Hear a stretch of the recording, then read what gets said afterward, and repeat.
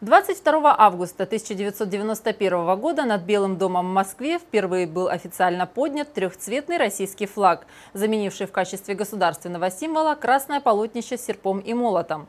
С этого дня ежегодно в России отмечается День государственного флага Российской Федерации. Как этот день отметили в Славянском районе, расскажут Надежда Неткачева и Александр Косицын.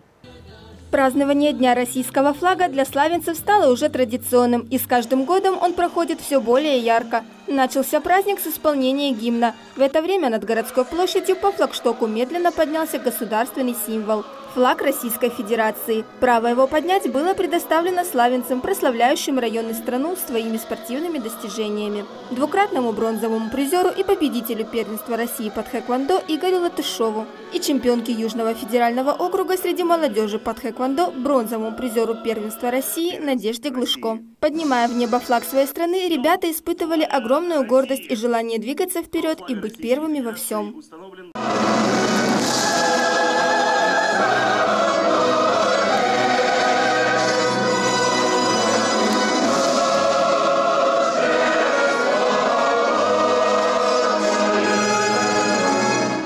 Со словами поздравлений к собравшимся обратился глава Славянского района Роман Синеговский, подчеркнув значимость триколора, которая олицетворяет независимость нашей страны, связывает воедино героическое прошлое и достойное будущее Отечества. Триколор объединяет нас, граждан великой страны, и помогает нам почувствовать, что вместе мы сильный, мудрый народ, способный на самые высокие достижения во имя благополучия нашей Родины.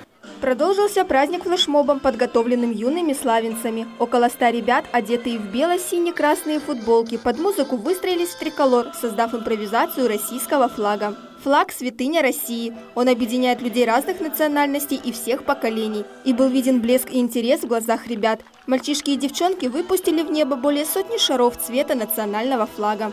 Государственный флаг – это наша история, символ единения народа, символ Родины. В государственной символике России отражаются мощь и величие нашей страны, ее славная история, подвиги российского народа. И относиться к нему с глубоким уважением – обязанность каждого гражданина своей страны. Славянцы это понимают.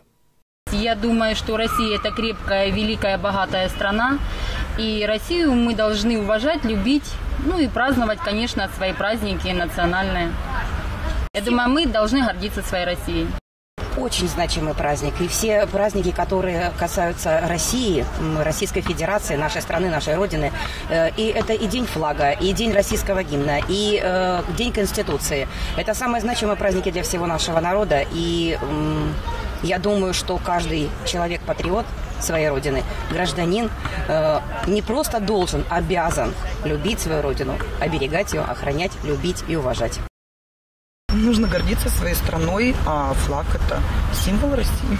Мы русские. Стоит сказать, что более трех столетий российский флаг является одним из главных атрибутов государства, занимая почетное место в жизни россиян и государственной жизни всей страны. Всем славянцам волонтеры в этот день раздавали флажки и ленточки цвета триколора. Продолжился праздник выступлением творческих коллективов Славянского района. Любовь и слава не